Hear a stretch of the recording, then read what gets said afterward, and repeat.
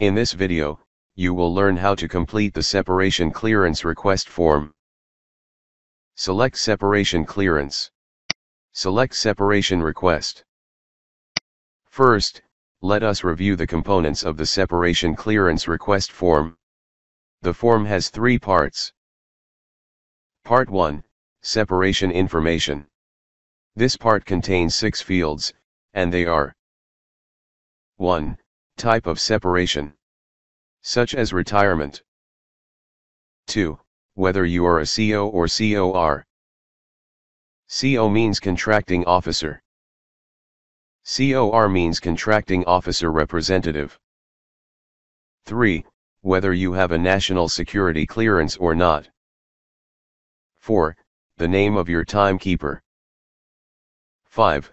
Selecting your last day in the office regardless of your separation date.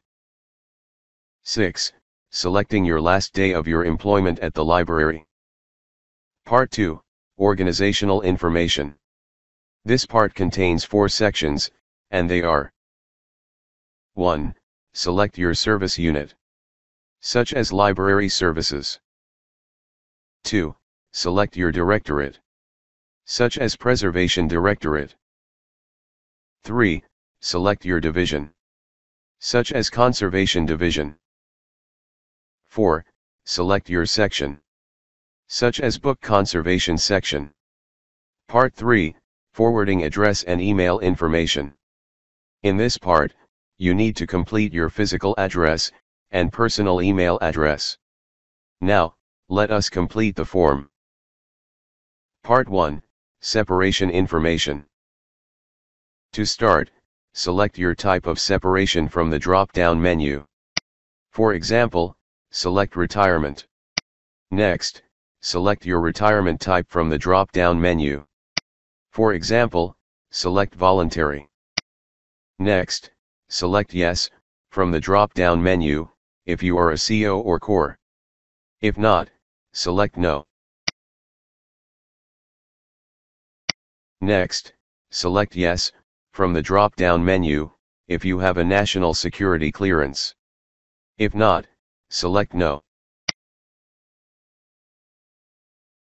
Next, click the magnifying icon to search the name of your timekeeper.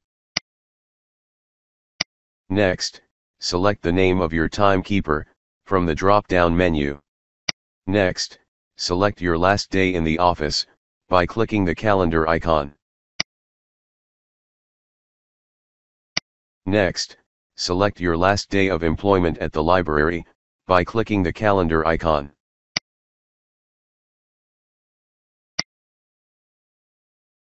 Part 2 Organizational Information. To start, select your service unit, from the drop-down menu. Next, select your directorate, from the drop-down menu. Next, select your division, from the drop-down menu. Next, select your section, from the drop-down menu, if your division has one. Part 3, Forwarding Address and Email Information. In this part, fill out your physical address and personal email address.